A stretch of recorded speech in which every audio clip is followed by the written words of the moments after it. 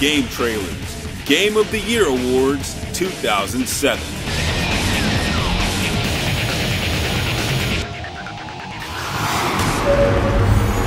Best Graphics.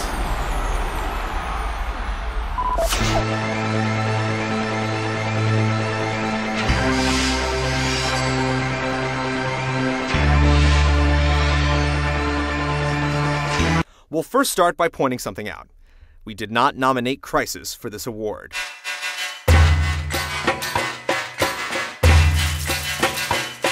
We spent well over a week upgrading our rig, and we still had problems running it smoothly, and we just couldn't rationalize placing theoretical performance on this list. With that said, 2007 saw a split in how video games were approached. While Microsoft with the Xbox 360 and DirectX 10, and Sony with its number crunching behemoth, the PlayStation 3, both strolled down the path of more means better.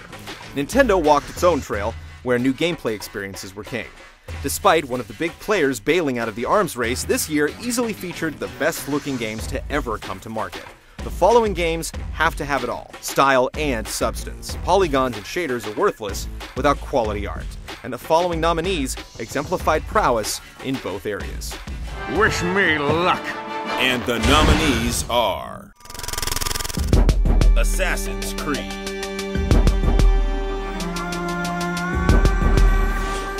Visual fidelity and smooth frame rates are one part of a game's visuals, but what ultimately brings digitized characters to life is how they move and interact with their environment. In this regard, Assassin's Creed demonstrated that simulated organic lifeforms could move with a fluidity and unpredictability that mimicked reality.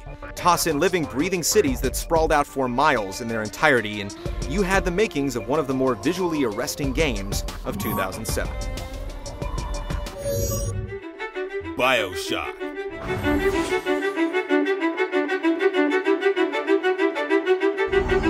If art is indeed king, then Bioshock should have been crowned months ago. The game's setting was unique, but without Art Deco splashed all over the environment's Rapture would have been ruptured. The period specific architecture and decor were more than enough to make the player feel like he was visiting a long lost civilization, and the game's technical merits from the plasmids to making water finally look real in a video game were achievements that earned its well deserved nomination.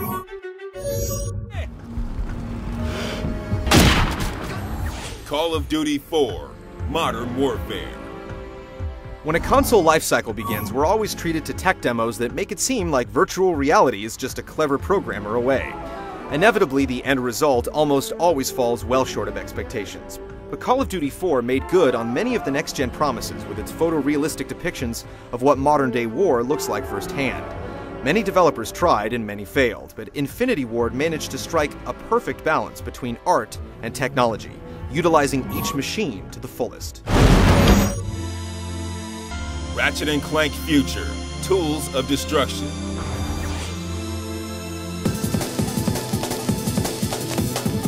Toy Story level graphics were supposed to be available on the N64 and then on the PlayStation 2, but in the end, both were laughed out of the room. We finally reached the zenith with Ratchet and Clank Future Tools of Destruction.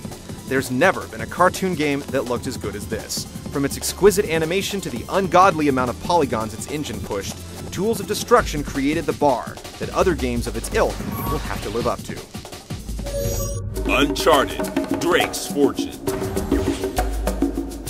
Naughty Dog has always been one of those developers that managed to get the most out of whatever hardware it worked on. Nothing changed with its first PlayStation 3 game, Uncharted Drake's Fortune. Set in a lush jungle environment with tons of foliage all perfectly lit as it reacted to Drake's movements. From purely a technical perspective, it had no peer on the console. The attention to detail is what set it apart, with clothes that actually look wet and an adaptive animation system that made sure Drake reacted to every last nook and cranny of the ruins.